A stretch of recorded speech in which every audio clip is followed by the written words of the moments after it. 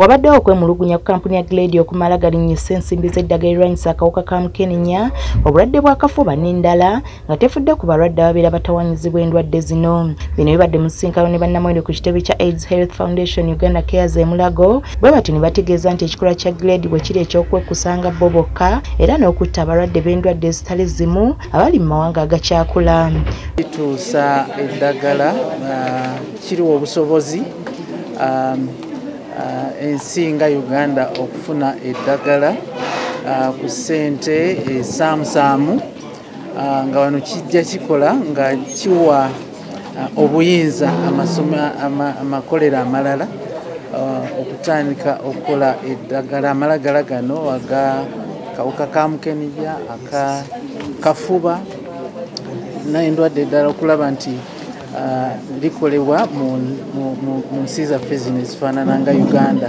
Okusinziira ku henry magala avunaanyizibwa ku nteekateeka za aids health foundation uganda cares ebiri mu kiwandiiko kye baatwala eri kampuni ya glade. Abye giliad ewe license kifaanana nga kyemusoose okwogera okulaba nti eddagala nga erya obulwadde bwe bayita cryptococcal meningitis bawita nti eddagala erituweerezebwa teririna side effects nga eddagala abalala lye bafuna mu nsi ezaabo abalina obusobozi. Eddagala lye batuweereza lirina side effect.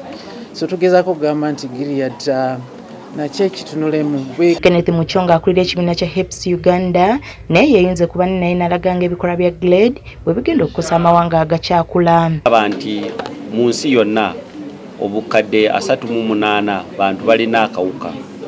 Ate tulaba nti omuntu omu mu bana talina tatuukibwako ddagala lino erijanjaba akawuka ka mukenenya.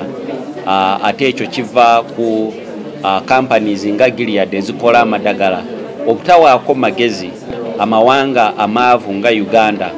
Okukola oba okuimpotinga eddagala lye bakola lino erirungi wabula abamu ku balwadde nabo balaze okutya ku kyeboolekedde era nga nabo basabye glade okugabira omukisa amawanga mala nago gafulumya eddagala abalwadde b'endwadde zino lye babeera bakozesa okusinga okweyagaliza bokka.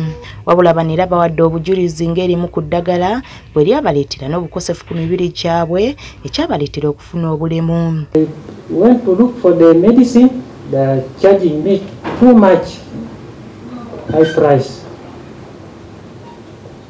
So I have to look for money. Then I started buying the medicine until I finished my days, 14 days in the hospital. HIV patients, they are complaining of, of loss of sexual feeling. For, for, for the men, they call it sexual dysfunction.